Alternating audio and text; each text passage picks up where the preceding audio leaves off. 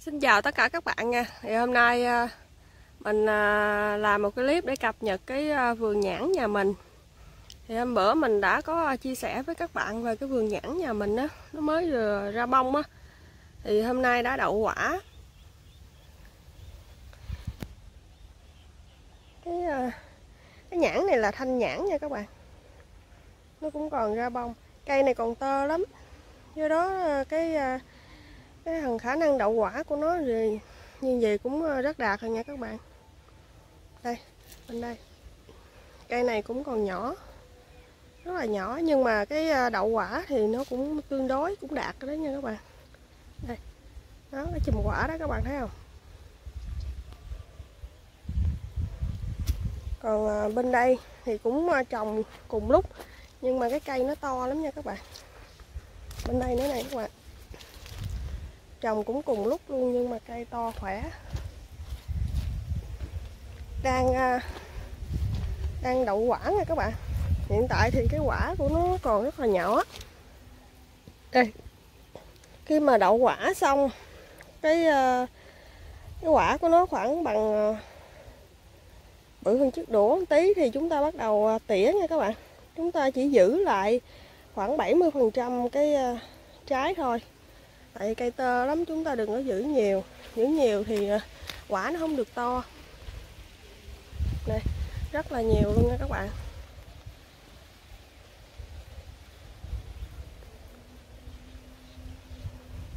Chùm nào cũng đều đậu quả hết. Đó.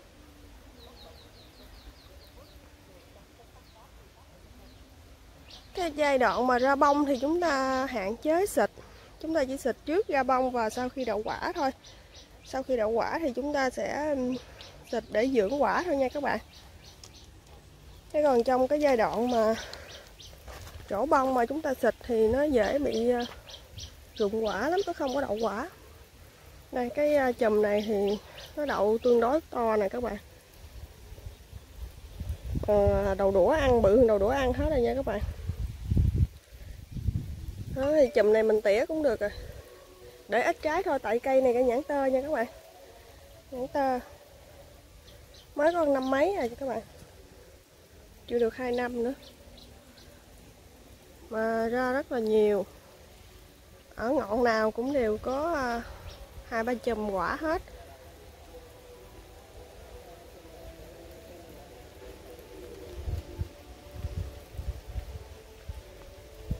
Này mà có đậu hết thì chúng ta cũng phải tỉa bỏ bớt thôi các bạn.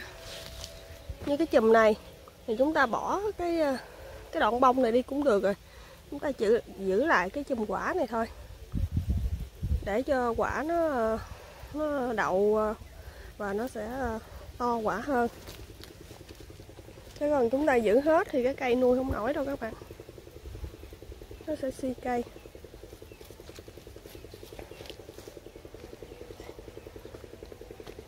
Còn cây ngoài đó cũng vậy nha các bạn. Rất là nhiều chùm. Đây mình gặp phóng ờ, gần lại cho các bạn xem. Đều đậu quả hết rồi nha các bạn.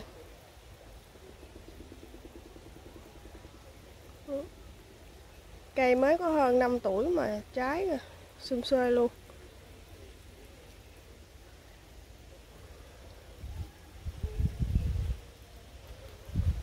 Cái này là nhãn idol nha các bạn? Nhãn Indo á. Nhãn Indo thì hiện tại chưa cho trái cũng trồng cùng lúc luôn nha các bạn.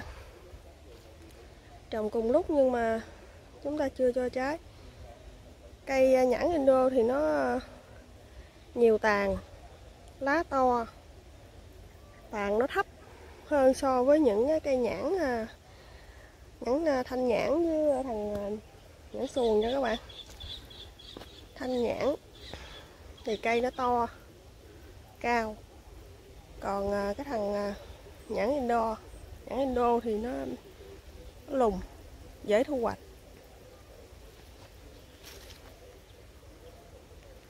Cây nào cũng ra trái ra bông ra trái đều hết các bạn.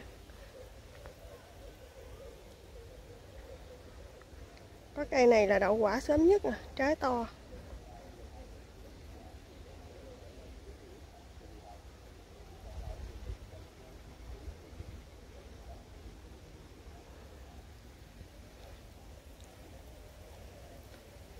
Còn à, cái à, phân bón thì à, cái giai đoạn này thì chúng ta bỏ phân thì chỉ bỏ phân vi sinh thôi nha các bạn.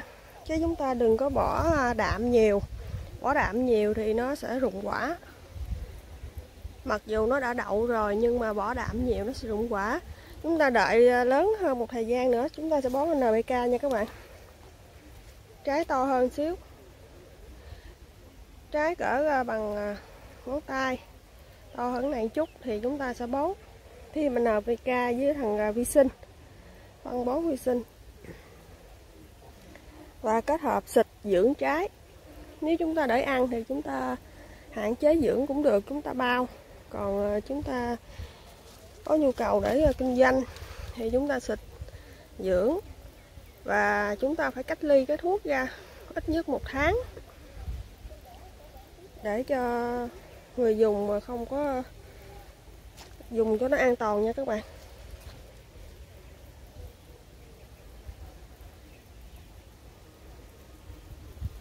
Đây là giống à, thanh nhãn nha các bạn. Nhãn bạc liêu, nguồn gốc ở bạc liêu. Đây, chùm bông rất là to. Đậu quả rất là nhiều nha các bạn. Như thế này thì nó cũng còn rụng nha các bạn. Rụng bớt rụng nó chừa lại một chùm nhãn khoảng chừng à, bảy, tám chục trái là ok nha các bạn. Cây nhãn tơ mà để nhiều trái thì cũng không có được. Đây, chùm nhãn rất là đẹp nha các bạn. To, khỏe. Thì à, cái giai đoạn mà đậu trái này thì chúng ta xịt thêm cái thằng à, canxi bo hoặc là chúng ta xịt cái thằng N3M cũng tốt nha các bạn. Và chúng ta sẽ ờ, tưới gốc. N3M chúng ta tưới gốc cũng được luôn.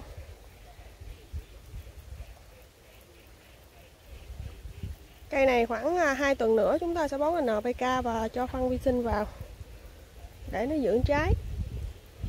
Còn trong lúc này thì chúng ta chưa có bón gì hết. Chỉ ờ, tưới nước giữ ẩm thường xuyên thôi nha các bạn chúng ta đừng để khô quá và cũng đừng tưới ướt đẫm quá. Giữ cái mực nước nó vừa phải thôi. Giữ ẩm thôi.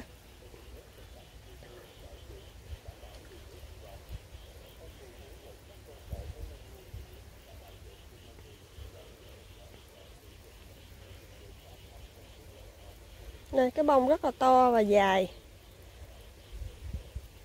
Đậu hết chắc cả mấy trăm trái các bạn.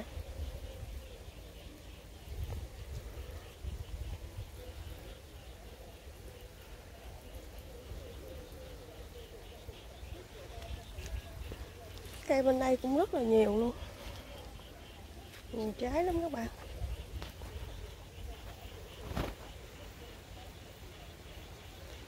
Lúc này mình quay buổi chiều vậy đó, nó hơi tối nha các bạn.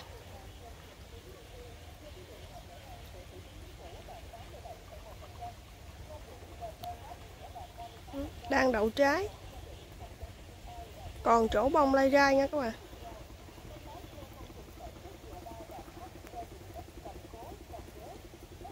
Vậy thì để uh, giúp cho cây nhãn đậu trái sai trái và đạt năng suất thì chúng ta bón phân NPK và kết hợp với vi sinh trước khi ra bông. Chúng ta dưỡng cây. Trước à, khi à, cho chỗ bông khoảng một tháng thì chúng ta dưỡng cây và sau khi đậu quả cái quả to bằng ngón tay thì chúng ta mới bắt đầu bón phân. Đợt hai nha các bạn.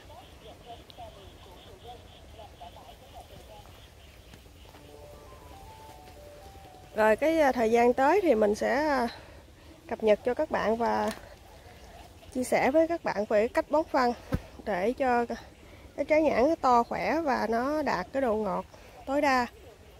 Và các bạn nhớ đăng ký kênh để xem à, video tiếp theo nha.